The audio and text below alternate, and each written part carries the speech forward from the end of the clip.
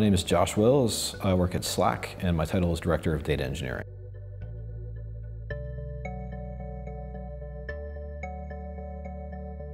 Oh, I think like just the sheer diversity of topics and stuff like that that get covered at this conference over several days is the most exciting part for me. I just love being able to be a fly on the wall and hear about stuff I know very, very little about from people who know tons and tons and tons about it. So uh, yeah, that's it's like a the, the mega conference aspect is my favorite part. Yeah.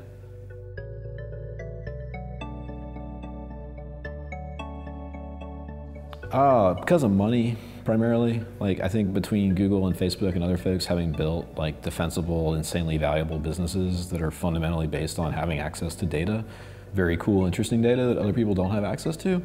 Like like most sort of cool things in the world, it kind of fundamentally comes down to money, and that's true for data as well.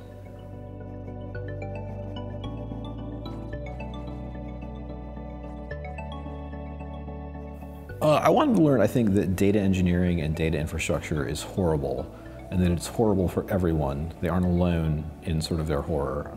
Um, I, it's, it's just, it's hard, it's hard and it's terrible for everyone.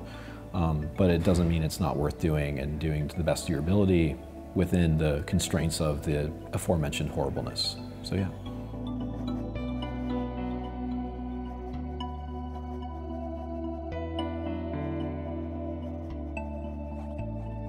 Ooh, key advice on how to become a data scientist, how to become a really great one. Um, I think uh, the, like the I think being a great generalist is a is a great way to be a great data scientist. I don't I've done like the highest level machine learning models and I've done like the lowest level sort of DevOps stuff in my career, like even down to like debugging hardware in some situations. Um, yeah, I, I don't I don't think there's like I, it's one of those like weird sort of Zen koan kind of things. Like you can't become a data scientist by be, trying to become a data scientist. You have to get good at a lot of different things and then basically sort of insert yourself into a position where you can do data science. Like uh, there's this great quote by a mathematician, mathematics is what mathematicians do. Data science is what data scientists do.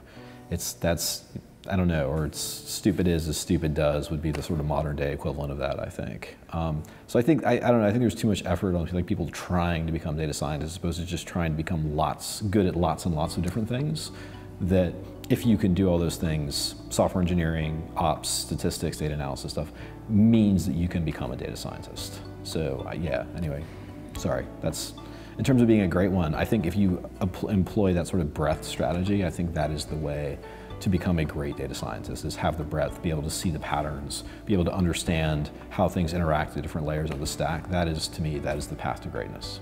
So.